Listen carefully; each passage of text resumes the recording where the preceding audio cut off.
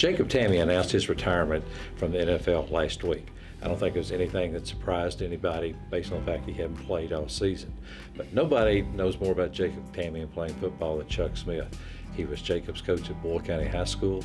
He was on the Kentucky staff when Jacob was at Kentucky and has remained friends with Jacob all this time. In fact, Jacob even brought you to one, his first Super Bowl game, didn't he? He sure did. He sure did. Which must be a special thing for you. Oh, it was it was on my bucket list. I always wanted to go to a Super Bowl, and I was able to do that because uh, Jacob, uh, you know, invited me, provided the tickets and everything, and it was uh, it was a really a special. Uh, um, you know, moment for me and my wife. Both of us got to go to the Super Bowl, and it was it was awesome. It was a great game, and uh, I wish Jacob could have won, but it still was a great experience. When he played for you here at Boyle County High School, Chuck, what your best memory or what kind of stands out to you about that time with Jacob? Well, Jacob was just a he was just a great player. He just he um, he loved the um, he loved the big moments. You know, the bigger the moment, the best the better he played, and uh, he always found a way to go make the play. You know, that was going to decide the game. You know, whether it was you know early in the game or whether it was late in the game. Uh, but he is the type of guy that just wanted the ball when uh, the game was on the line, and um, he, he, couldn't get enough of that. I mean, he just lived for that moment, and um, he's you know he's such a great player. Had great skills, ball skills. You know, he had all the tools.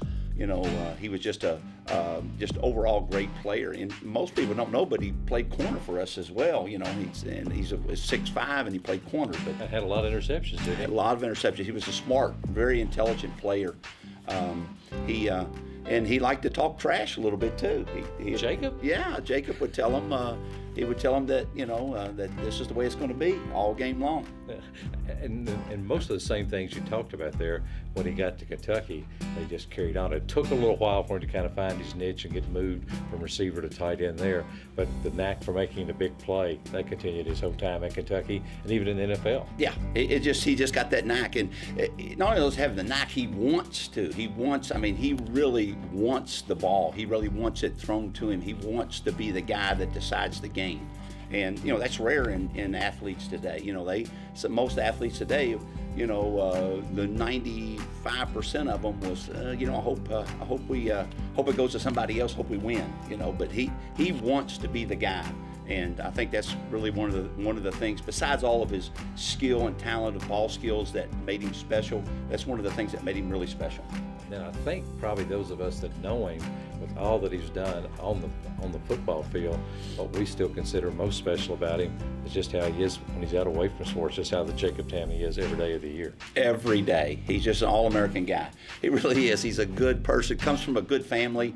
His mom and dad are special people, and they've done a good job with him. And um, and he is just a uh, you know just a all-American guy. He really is. He just everything that he everything you see that's tr- that's true Jacob. You know, there's nothing phony about it. You know, the good thing about it, if you can just keep coaching long enough, you'll get to coach Jacob's son because there's yeah. no doubt Luke's going to be a football player. Oh yeah, he will be. Uh, it just kind of runs in their family. They love football, and uh, you know him and Seth both were good football players. And but you know Jacob, Jacob's a special guy. He really is, and uh, he had what a wonderful career. I mean, nine years in the NFL and. Three um, Super Bowl teams. Three Super Bowl teams. I mean, he just had a, a, a just such a memorable uh, career. And the thing that, if you're around Jacob you know, long enough, you'll say, uh, well, he never even mentions it. He's very humble, very humble and appreciative of, of uh, his success, uh, always willing to give credit to other people. But the fact of the matter is that uh, he wanted it, he worked for it, he earned it, and he deserved, it. deserved every, everything he gets. Amen to that.